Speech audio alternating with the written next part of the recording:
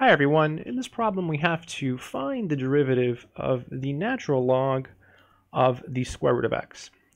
So if we just take the derivative, uh, because it's not ln x, we'll have to use a chain rule and we'll have to differentiate a square root function. So it might be better to try to rewrite this in a nicer way. So we have f of x, so we're going to rewrite it, and this is equal to ln.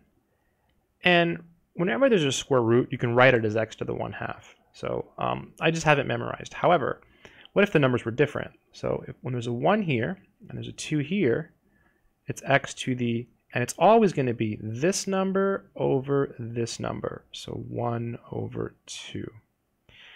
And now what we'll do is we'll take the 1 half and we'll bring it down and put it in the front. That's called the power rule for logarithms.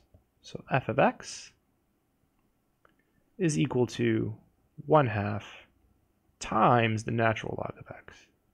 Notice um, it's f of x each time. That's because we haven't taken the derivative yet. So really key. So we're rewriting first.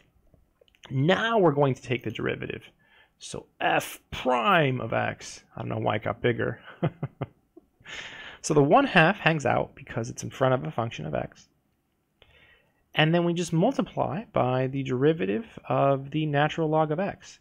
Well, what is that? That's just 1 over x. And that's pretty much it. You can leave it like this. If you like, you can actually perform the multiplication here. Um, let's go ahead and do that. So 1 times 1 is 1, and then 2 times x is, is 2x. And that would be the derivative.